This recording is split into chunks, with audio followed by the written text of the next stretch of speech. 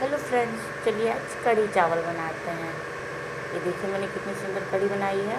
तो चलिए इसकी शुरुआत करते हैं। पहले हम सारी तैयारियाँ कर लेंगे। जो हमें बनाने के लिए चाहिए, उसे हम सब कुछ एक जगह इकट्ठा कर लेंगे। ये देखिए, एक प्लेट में मैंने पहले जो दाल है, उसमें हम उड़द की दाल थी जो हमने भिगो के रखी थी, उसमें फिर हमने जीरा, मिर्ची, अदरक काली मिर्च, लौंग और इलायची डाल ली है और थोड़ा सा नमक, फिर थोड़ी सी हल्दी। फिर थोड़ी सी हल्दी डालेंगे और फिर इसे बंद करके हम पीस लेंगे। देखिए, ये पीस के रेडी हो चुकी है।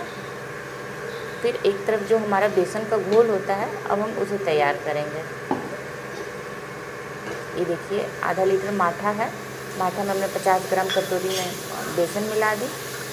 इसे हम अच्छी तरह से मिलाएँगे। एक भी लम्स न रहे, पूरी तरह अच्छी तरीके से मिल जाए। देखिए मिलते मिलते स्मूथ हो गया। ये थोड़ा सा वीडियो शूट करने में थोड़ा सा कट गया है, थोड़ा और पीछे रहता तो अच्छा लगता है। देखिए, फिर इसमें हम नमक डाल देंगे स्वाद अनुसार और हल्दी डाल देंगे स्वाद अनुसार। फिर इसे हम फिर मिलाएँगे। मिलाना है कि एक भी लम्स ना रहे। आधे लीटर माथे में आधा कटोरी बेसन पचास ग्राम और उसमें आधा लीटर पानी। अब कढ़ाई गरम कर लेंगे देखिए गरम करने के लिए रख दिया हमने। इसमें डालेंगे तेल। पहले जो हम दाल पीस के रखे हैं ना, उसमें बड़ी डालेंगे। एक एक करके हम ये उड़द की बड़ी डाल देंगे उसमें और इसे सुनहरा होने तक, गोल्डन ब्राउन होने तक इसे फ्राई करेंगे। इसे फ्राई होने में कम से कम 10 से 15 मिनट धीमी आँच पे लग जाएगा। बड़ी कच्ची ना रहे इसके लिए इसे हम धीरे धीरे फ्राई करेंगे। ये देखिए कितने सुंदर तरीके से फ्राई हो रही है।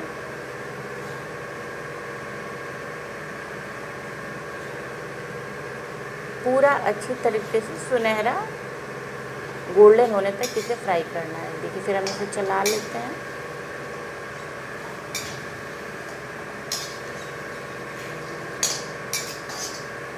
अब इसे हम निकाल लेंगे। ये अच्छे से फ्राई हो चुकी हैं। प्लेट ले लेती हूँ मैं। और फिर प्लेट में इसे हम निकाल लेंगे।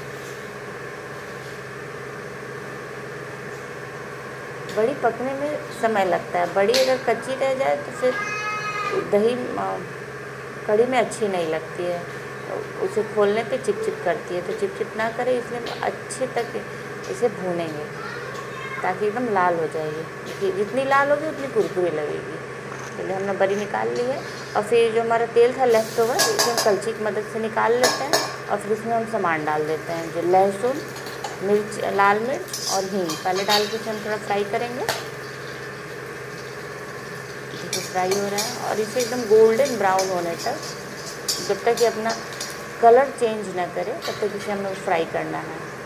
फ्राई करने का मतलब कि इसे हमें भूनना है। उसके बाद इसमें हम जीरा और मेथी डालेंगे। ध्यान रहे, मेथी जो है, वो ज़्यादा वो भुनना नहीं चाहिए, नहीं तो कढ़ी में इसका स्वाद तीता लगता है।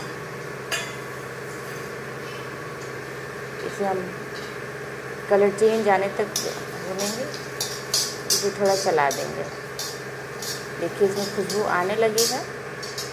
जब इसमें खुशबू आने लगे तो हम, हमें समझ जाना है कि जो हमने बैटर तैयार किया है आधे लीटर माठा में 50 ग्राम बेसन और आधा लीटर पानी डाल के जो हमने घोल तैयार किया है, अब उसे डालेंगे हम। थोड़ा सा इसे और चला लेते हैं।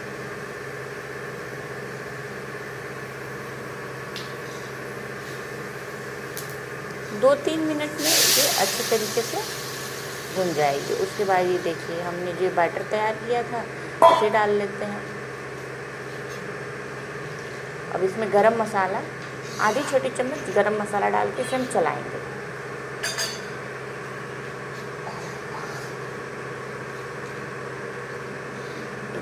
फिर जो हमने बड़ी तैयार करके रखी थी ना,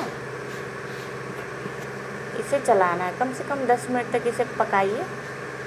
एकदम मध्यम आँच पे, आँच जाती नहीं। जब दस मिनट हो जाए तो फिर ये बड़ी डाल देंगे। बड़ी डाल के फिर हमें दस मिनट और पका चलाते चलाते पकाना है। तले पे लगे नहीं। और ये देखिए, फिर आखिरी में धनिया से गार्निश कर देंगे।